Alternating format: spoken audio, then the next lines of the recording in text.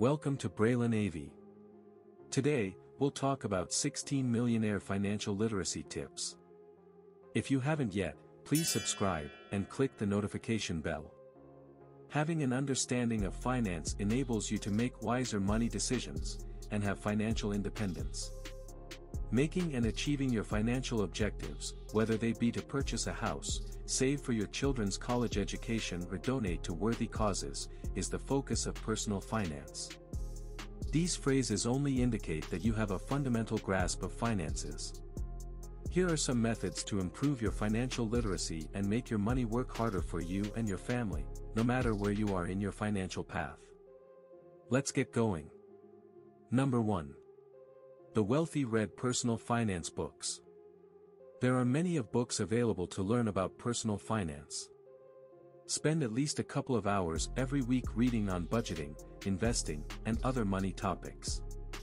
Personal finance books will be essential in your quest to become financially savvy as you get started.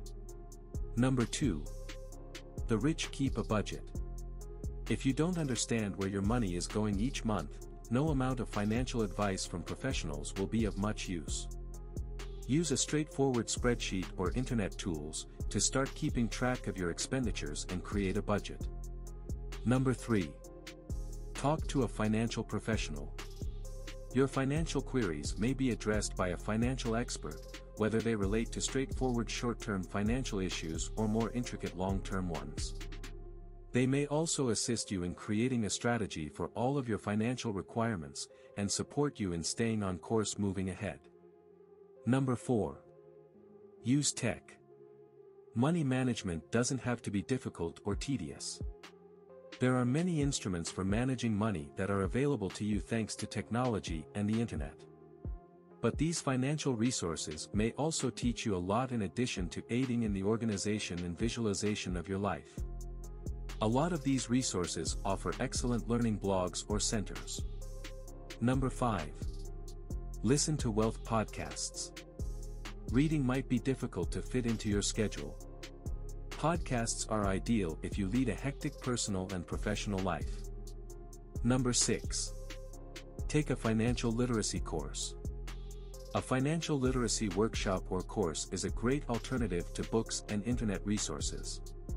Whether it be at an adult education facility, college course, online school, etc.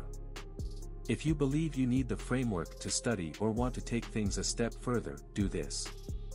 Online courses that are free can also be quite educational. Number 7.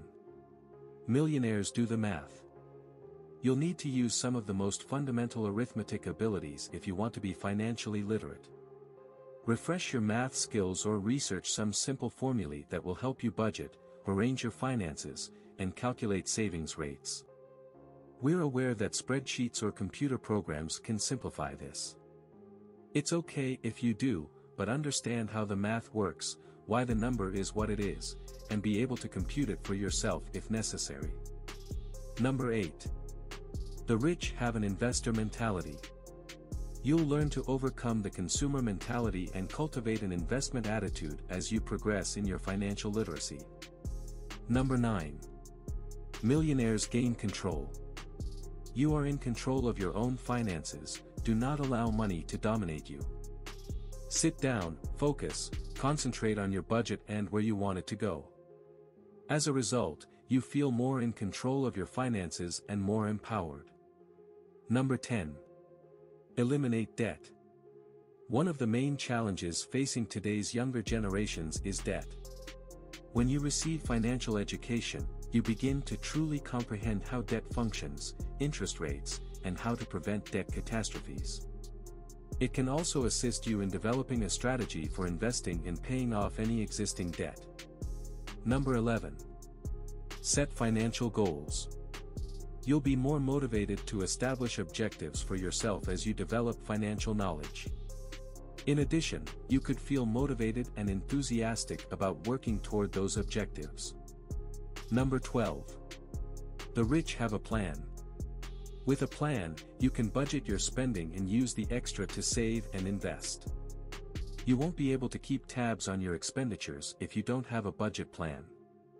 You must first take note of your monthly revenue before tracking your spending in order to create a strategy. Account for all of your fixed costs. After keeping track of your significant expenditures, be careful to establish your financial objectives, such as conserving money. Short-term and long-term financial goals are two different categories. Once you've completed all of these steps, make sure to finish your strategy and stick to it if you want to become financially wealthy. Number 13. Understand your credit score. Lenders perceive borrowers as trustworthy when they make on-time credit bill payments. They start to establish a credit history and receive a better credit score, both of which will make it easier for them to get future loans. Your credit report, which is a summary of your financial position, is something else you should be aware of. You can identify any mistakes or false entries in your credit report and take legal action to recover the damage by analyzing it. You might use this report to monitor your expenditures and gradually raise your credit score. Number 14. Understanding loans. There are two methods for paying off debt quickly. One strategy is to figure out which loan has the highest interest rate and pay it off first to lower the overall amount of interest you will have to pay. When you have paid off this debt, you may concentrate on repaying the loan with the next highest interest rate, and so on. A different strategy is to pay off the little bills first, then concentrate on the bigger loans. Number 15. Set aside funds in case of emergency. According to experts, you should keep a reserve of 3 to 6 months worth of living expenditures on hand. By being ready for unforeseen risks in this way, you can prevent a little financial problem from becoming a huge one. Number 16. Secure your future. Additionally, it's crucial to be prepared for retirement. Although a lot of people might believe it is already too late, it is still better than never. One of the most important aspects of financial literacy is creating a suitable retirement plan. The first step in retirement planning is to take your age and desired retirement date into account. The next step is to calculate your projected retirement expenses. Next, determine if your retirement fund will be able to produce the needed income after taxes by calculating the investment rate of return. After that, start saving money and making the right retirement investments. You've undoubtedly begun to realize the importance of financial literacy by this point. You're probably also trying to figure out what impact this will have on your money, both now and in the future. You also have advice to put you on the correct track. No matter how financially literate you are, you should continue to expand your knowledge. Any action you take is a step in the right direction if you want to better manage your finances. To just beginning is the key. You may make better informed and assured financial decisions by using the principle of knowledge is power. We are aware that the earlier you master the fundamentals of money management, the more secure and prosperous your financial future will be. Although it's never too late to start studying, getting a head start is advantageous. Education is the first step into the realm of money.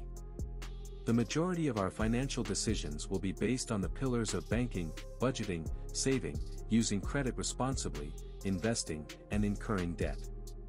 Financial literacy is crucial because it gives you the tools you need to manage your money and prevent financial hardship.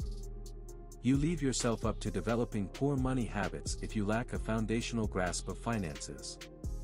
Check out our description section below for items that will help you along in your wealth journey. Here are two more videos on this financial subject.